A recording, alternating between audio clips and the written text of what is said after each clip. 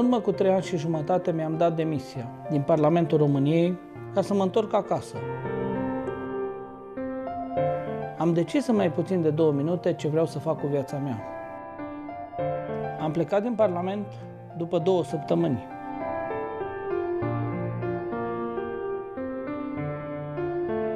M-am întors pentru că am simțit că este cel mai bun lucru.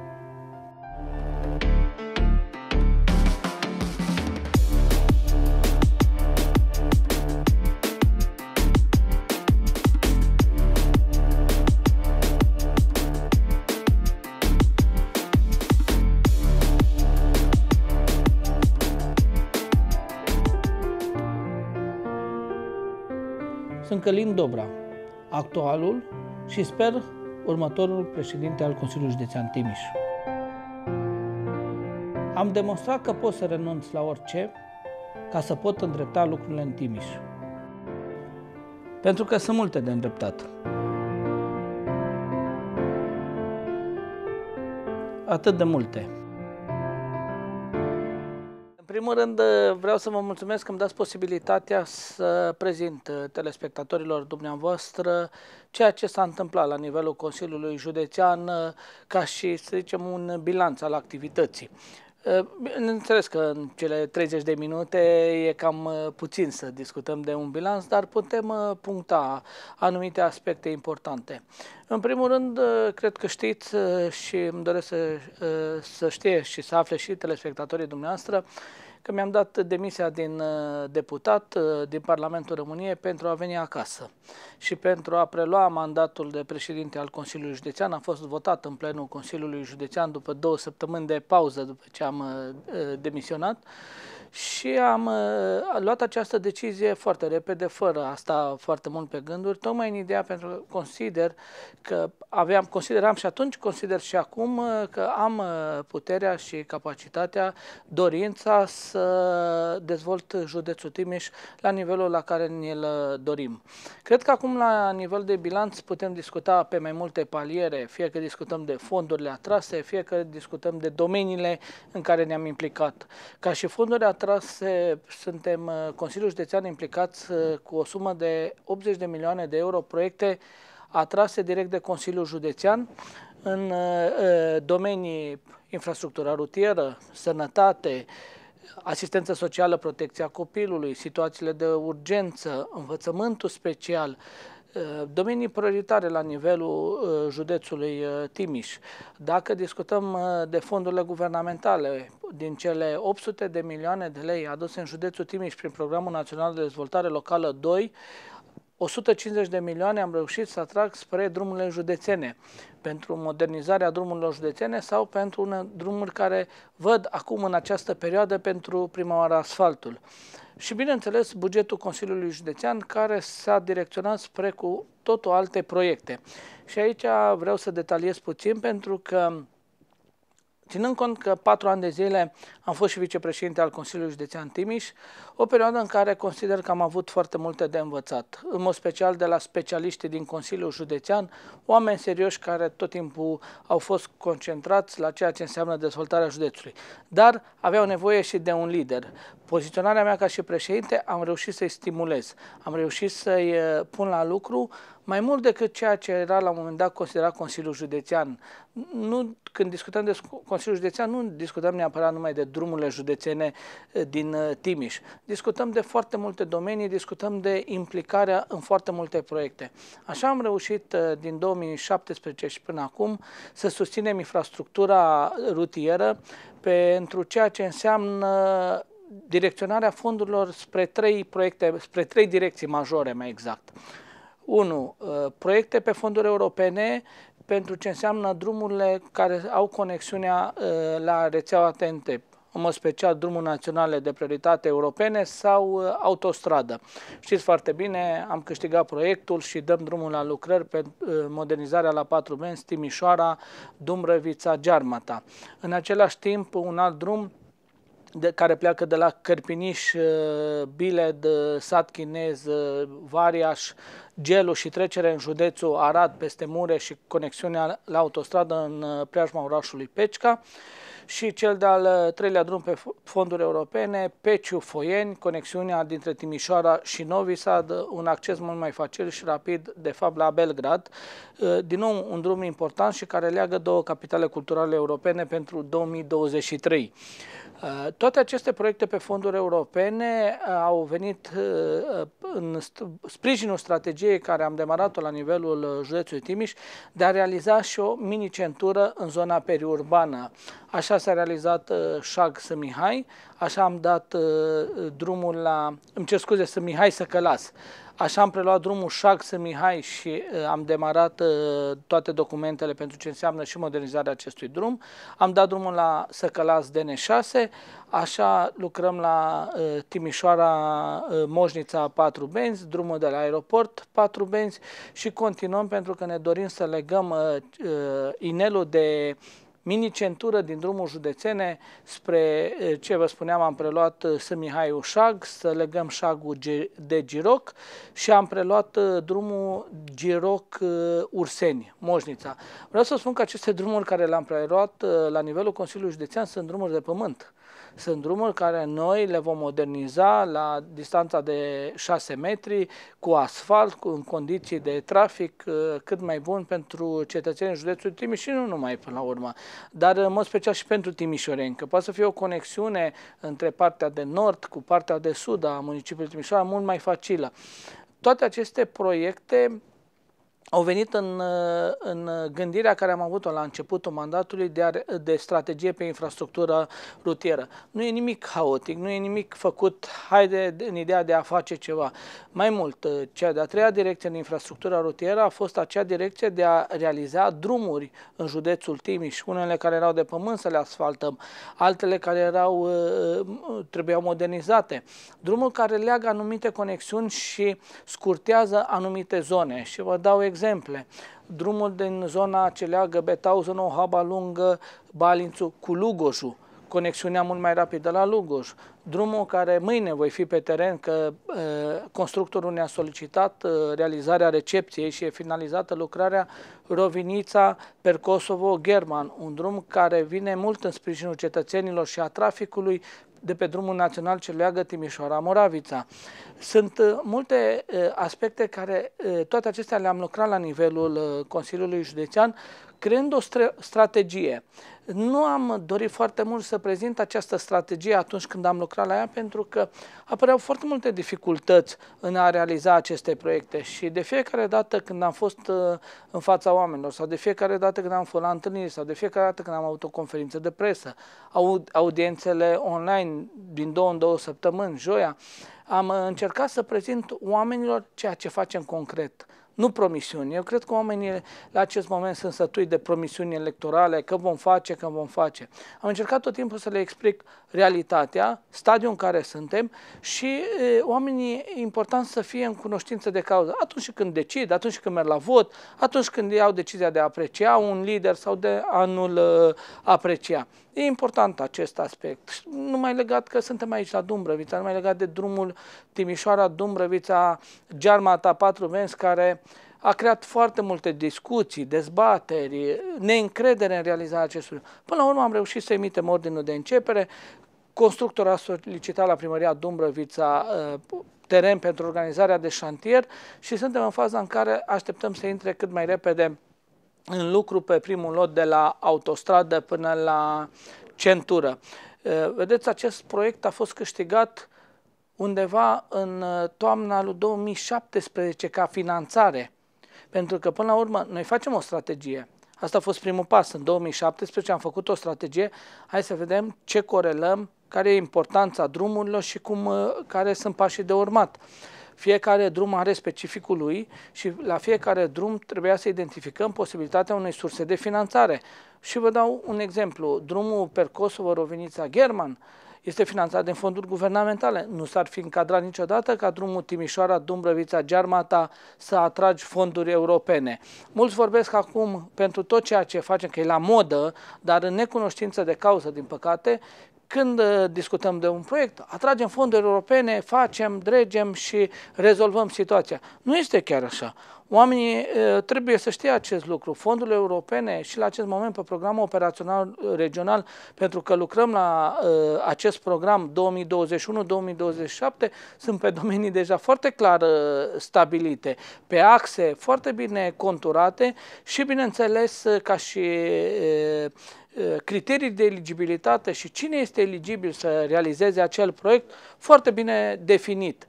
Am reușit, și îmi cer scuze că poate trec așa puțin la alt subiect, dar e important, am reușit un demers de succes, care poate mulți nu-l nu înțeleg, dar e foarte important. Pentru prima dată, ADR-ul, Agenția de Dezvoltare Regională, care gestionează programul operațional regional, dar care până la acest moment era organism intermediar. Ce înseamnă asta?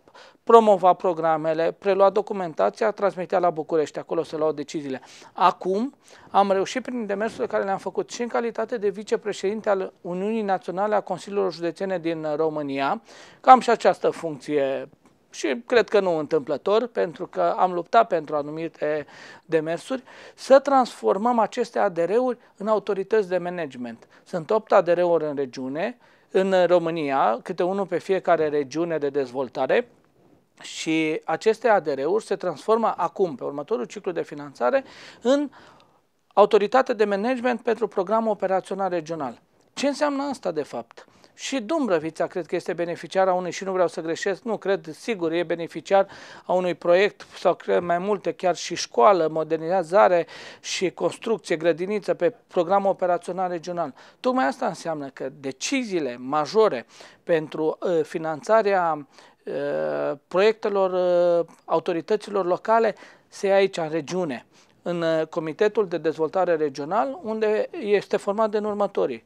Toți patru președinți de Consiliu Județean, toți patru primari de municipiu reședință de județ, câte un primar de oraș, câte un primar de comună din fiecare județ în parte. Credeți-mă, cu toată uh, colorar, coloraristica asta politică la nivelul regiunii, am reușit să ne înțelegem. Pentru că știm că uh, avem același interes.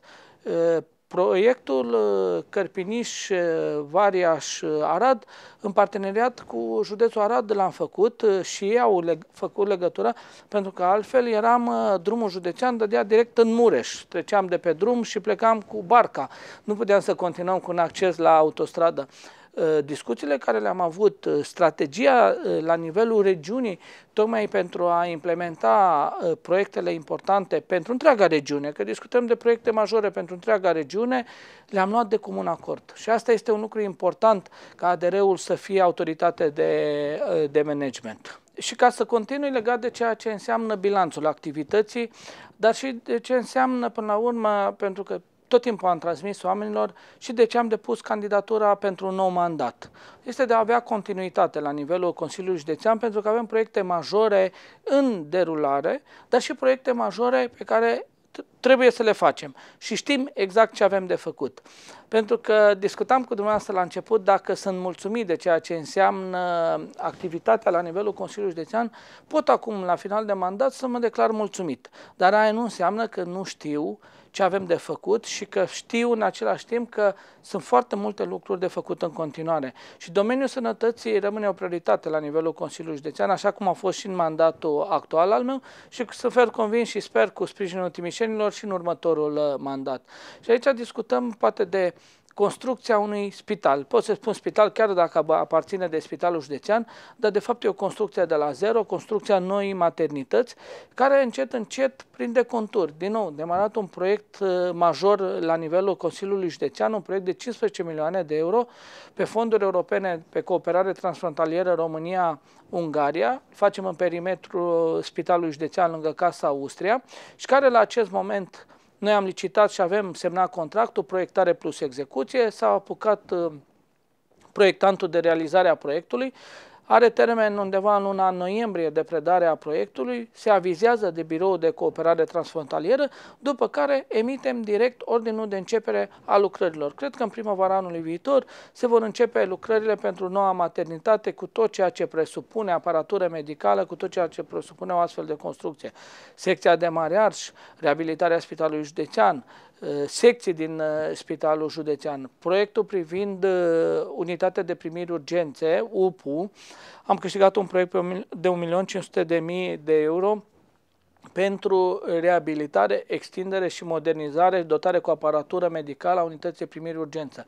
Din păcate l-am suspendat puțin, pentru că situația cu virusul și faptul că unitatea primiri urgență este prima implicată în ceea ce înseamnă trăirea pacienților, în ceea ce înseamnă organizarea acestei, acestui flux medical, Uh, am uh, suspendat puțin uh, demararea proiectului, tocmai în ideea de a organiza foarte bine fluxul acolo și am achiziționat, sunt în curs, să cer scuze, de achiziționare containere speciale pentru actul medical, să venim în sprijinul unității de primire urgențe în, în, acest, în acest sens.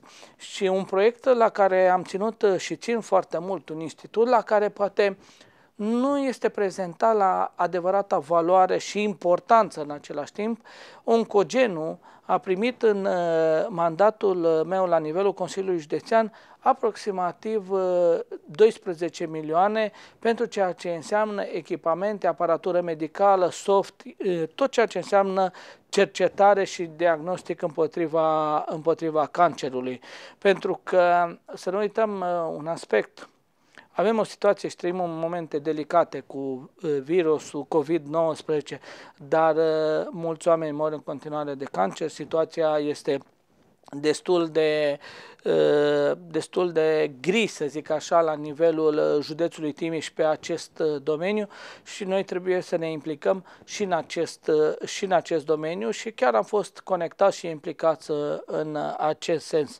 Și unul de proiectele de viitor pe domeniul sănătății este în parteneria cu Ministerul Sănătății și cu finanțare de la Banca Mondială. L-am și demarat ca și documentație, teren la dispoziție, certificat de urbanism urbanism, s-a realizat studiu de fezabilitate și urmează proiectarea plus execuția și am încredere că Proiectele Banca Mondială au un regim aparte, nu e la fel ca autoritățile locale cu toate procedurile de licitații și contestații și alte cele, deci putem să-l demarăm mai repede.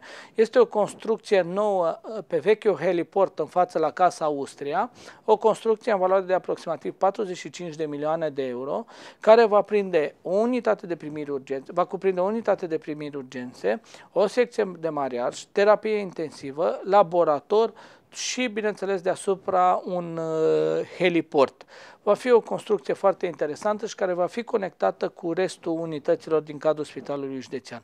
Sunt câteva din proiectele majore la nivelul uh, județului uh, Timiș și unul la care țin, ultimul vi-l prezint foarte scurt, la care țin foarte mult și sper ca în următorul mandat să și prindă contur, realizarea unei noi clinici de psiatrie Știm foarte bine, actuala clinică de pe strada Văcărescu își desfășoară activitatea într-un spațiu închiriat și unde Consiliul Județean nu poate să intervină decât costurile de întreținere și de reparații, nici de cum de a investi și de a crea un spațiu uh, modern pentru clinica de psiatrie. Și uh, aș vrea să prezint câteva aspecte și de un domeniu aparte. Spun de un domeniu aparte pentru că este un domeniu sensibil și se poate verifica la nivelul județului Timiș, uh, nu a fost așa implicarea uh, spre acest domeniu de ceilalți foști președinți de Consiliul Județean. Nu știu de ce, nici nu mi-am pus întrebarea, nici nu m-a interesat foarte mult, pentru că eu am fost foarte aplicat în ceea ce înseamnă acest domeniu și anume învățământul special. Învățământul special, de fapt, presupune activitatea educațională pentru copii cu dizabilități și cu probleme sociale. E o chestiune aparte.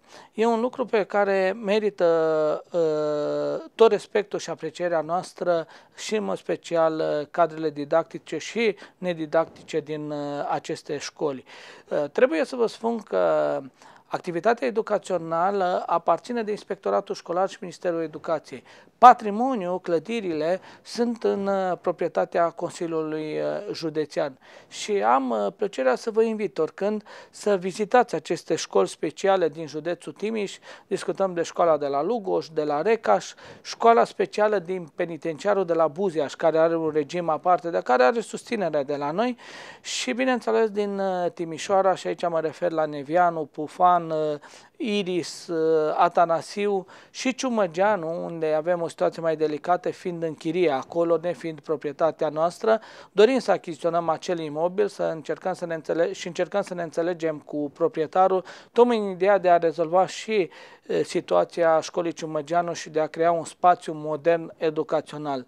În rest, din punctul meu de vedere, Cred că la acest moment ne putem declara mulțumiți pe ceea ce înseamnă activitatea educațională specială, pentru că școlile sunt model și etalon la nivelul județului cu toate condițiile pentru copii. Mai mult, Liceul Iris am reușit să câștigăm un uh, proiect de 1.500.000 de euro pe fonduri europene pentru ceea ce înseamnă reabilitarea, eficientizarea clădirii și vom moderniza uh, un uh, nou corp de clădire în, uh, în incinta liceului. Este un domeniu, repet, aparte, unde uh, de în prima zi, ținând cont că cunoșteam activitatea ca și vicepreședinte, dar pârghiile ca și vicepreședinte nu le poți avea așa cum le ai ca președinte și niciodată nu poți, din postura de președinte, să dai vina pe vreun vicepreședinte. Vicepreședintele are rolul de ceea ce înseamnă coordonarea. Asta dacă hotărăște președintele să-i atribuie acest rol. Dacă nu, s-ar putea să stea puțin pe margine și să, să privească activitatea. Eu am stat pe margine, așa a decis fostul președinte cu care eram atunci uh, la nivelul Consiliului Județean, dar acest stat pe margine, de fapt, uh, nu mi-a dat decât, uh, și mă bucur, că mi-a dat posibilitatea să învăț, să văd ceea ce înseamnă mai exact administrația publică județeană, să înțeleg mecanismele, instituțiile din subordine, să pot pune nu mă așteptam niciodată să fiu președinte, v-am spus, uh, drumul l-am luat spre Parlament, dar niciodată nu știi ce-ți uh, rezervă viața și așa pot să uh, declar că am fost pregătit când am preluat funcția de președinte al Consiliului Județean. E important când ajungi într-o astfel de funcție, să treci prin anumiți pași, să știi exact ce responsabilitate presupune această funcție. Nu doar să facem declarații politice în această perioadă și să încercăm prin astfel de declarații să atragem simpatia oamenilor. Trebuie să le prezentăm în mod special realitățile județului Timiș și ceea ce se poate face pentru județul Timiș. Și în acest sens îmi permiteți să invit uh, joi, ora 12, Eh, și telespectatorii dumneavoastră și cetățenii județului Timiș să fie alături de mine, mediul online, pentru că le voi prezenta programul prin care vreau să duc Timișul mai departe. Am încredere în cetățenii județului Timiș că vor fi în continuare alături de mine și pe 27 septembrie când vor merge în cabina de vot. Vă mulțumesc!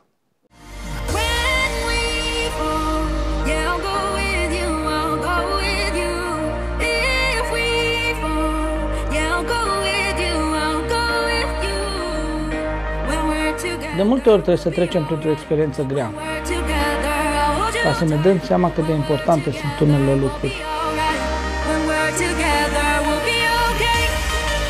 Faptul că nu mai putem să fim împreună, să ne bucurăm unii cu alții, e unul dintre aceste lucruri. Din 2017 am susținut festivalurile care și-au propus să pună Timișul pe harta națională a evenimentelor.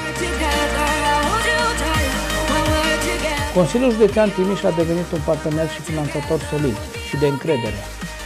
Acum îmi dau seama mai mult ca oricând cât de importante sunt toate aceste evenimente. Pentru că ele ne fac să înțelegem noua generație. Pentru că ele ne adună ca și comunitate. Pentru că ne dau emoții pe care nu le uităm chiar dacă am rămas doar cu amintirile.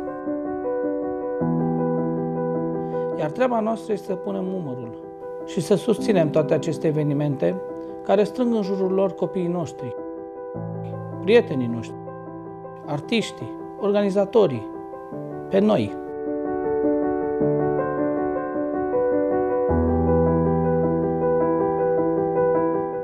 Consiliul Județean asta trebuie să facă. Până atunci, rolul nostru este să fim alături și să-i susținem. Astfel ca odată cu terminarea pandemiei să ne bucurăm împreună. Sunt Călin Dobra, președintele Consiliului Județean Timiș. Împreună o să trecem și peste acest top. Asta este promisiunea mea.